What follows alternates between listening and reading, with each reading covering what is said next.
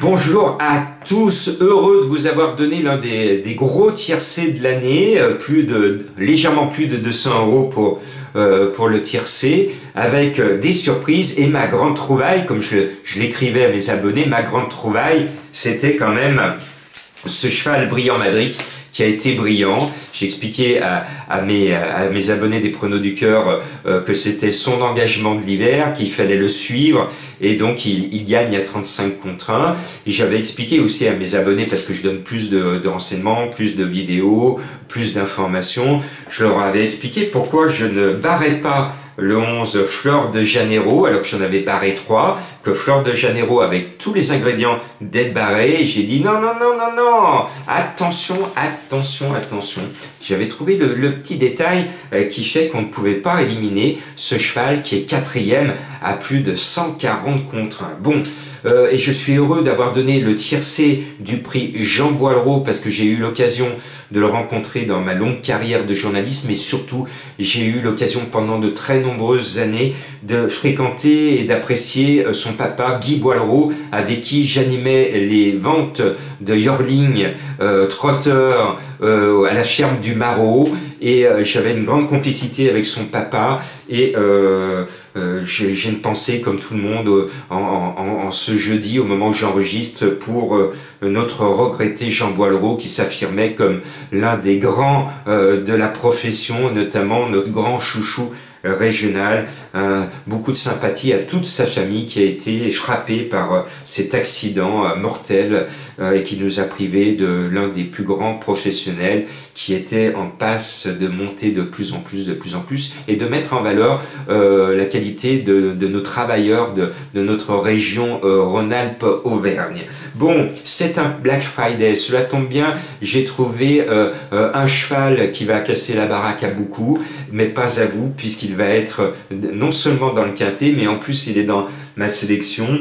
Mais il y en a un, il va frapper fort. Hein. Mon favori, alors je suis chaud bouillant, chaud, chaud, chaud bouillant, chaud les marrons, comme on dit sur la vogue au marron euh, à la Croix-Rousse tous les automnes. Eh bien chaud les marrons, Jean-Marc, il est vraiment très chaud. Euh, sur le 8, frappe fort, il va frapper fort. Je ne vois pas qui va le battre. Le 10, 55 Bond, c'est un cheval qui cherche à course, on peut le suivre. Et puis Eric Raffin, il a une bonne chance devant, celui du 5 Fanatique Flash. Alors je flash euh, pour lui, il va essayer d'affoler le, radar, on va pas lui mettre une amende s'il va trop vite.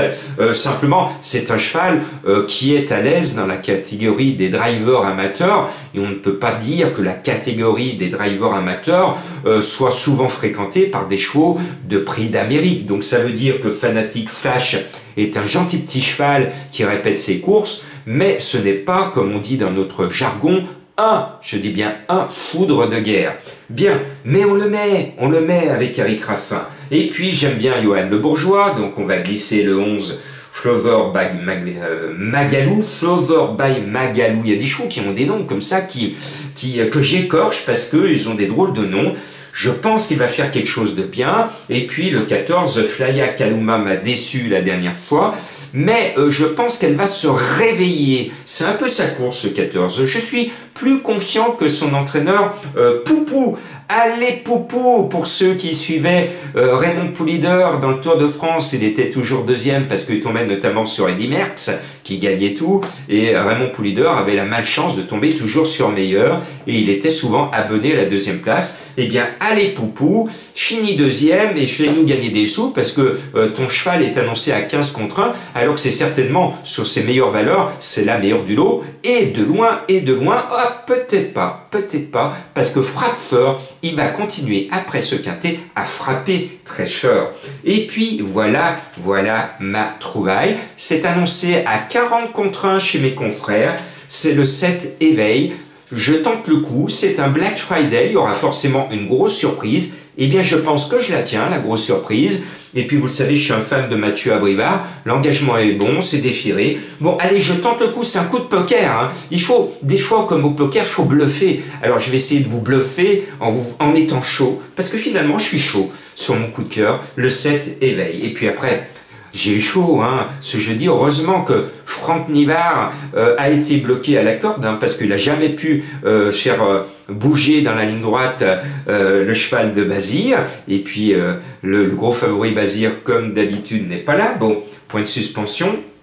Eh bien, euh, cette fois, je reprends mon abonnement à Franck Nivard. Il est au suki du 9 Fragonardello. On ne peut pas dire que ce soit l'engagement de sa vie. En tout cas, ce n'est pas l'engagement de son meeting. Le cheval va courir propre, mais je pense qu'il a peut-être en tête d'autres courses dans son programme qui seront un peu plus favorables, où il partira devant et non pas derrière. Et puis un petit trotteur que j'aime bien, qui m'a permis de vous, de, vous le donner à la gagne dans un quintet euh, cette année. Donc je lui reste fidèle parce que j'aime bien la famille Kubiche. Donc je vous mets le 7, le 6, pardon, Fly des Andiers, Fly des Andiers, qui est un cheval que j'aime bien. Donc c'est mon chouchou. Il ne m'a jamais trahi dans les quintés. Bon, il n'en a pas couru beaucoup, mais à chaque fois que je vous l'ai donné, il a toujours été à l'arrivée. Il est mignon tout plein.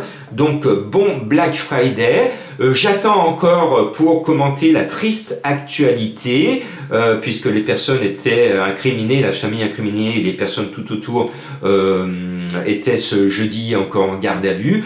Donc moi j'aime bien commenter une affaire quand j'ai toutes les cartes en main. Au moment où je vous cause, je n'ai pas encore toutes les cartes en main, donc je ne voudrais pas dire de bêtises, je ne voudrais pas m'exprimer trop tôt. Donc patience, comme je vous ai dit, un coup de gueule va arriver, mais au moment où il faudra que je le pousse, parce qu'il faut pousser un coup de gueule, comme hier, je vous avais proposé de boycotter euh, le galop à Cannes-sur-Mer. Ce vendredi, il y a une réunion à Marseille. Alors j'aime bien et je salue mes, euh, mes potes marseillais que j'adore. Allez l'OM, allez l'OM. Je suis lyonnais, hein. je suis sportif. Allez l'OM. Bon, euh, eh bien, je, je, vous je vous propose, vous n'êtes pas obligé de me suivre, mais de boycotter euh, pendant cette affaire, en tout cas pendant cette affaire, euh, les courses à Marseille pour qu'il y ait une réponse des turfistes hein, euh, en disant bon euh, cette affaire on est complètement scandalisé ben pour répondre à cette affaire ben je, ne jouez pas